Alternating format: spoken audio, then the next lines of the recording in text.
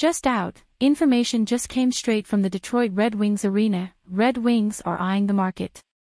If you want to stay on top of all the Red Wings news, subscribe to the channel so you don't miss the latest first-hand news.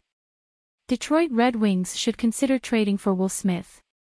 With all the focus seemingly on Connor Bedard, who will no doubt be picking up a Chicago Blackhawks jersey seconds after the 2023 NHL entry-level draft begins, the Detroit Red Wings, currently slated to pick the ninth seed, have options.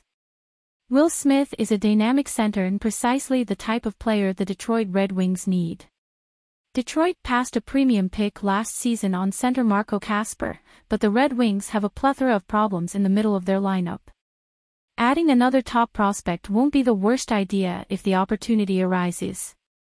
I don't have a crystal ball and I can't guarantee that Kasper will become one of the top two centers in the NHL.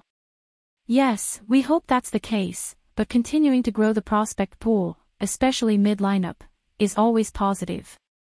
Perhaps Smith could be Yzerman's latest version of Brayden Point. Smith, 18, made a name for himself playing in USA Hockey's National Development Program. The skilled center has 15 goals and 42 points in 20 games for the program this season. This came after a campaign of 14 goals and 28 points in 36 games last season. Leave your like on this video so you don't miss the latest Red Wings news firsthand. The 18-year-old has silky smooth hands with an above-average shot and is dedicated to becoming the type of player who makes those around him better. Smith has committed to playing for Boston College next season.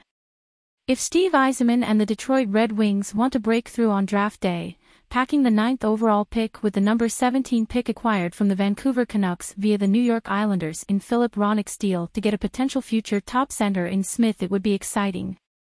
Hey Red Wings fan, in your opinion would Smith be a good option? Put your opinion in the comments, because your comment is very important for the Red Wings. Do not forget to subscribe to the channel, because at any time I will give you more information exclusively.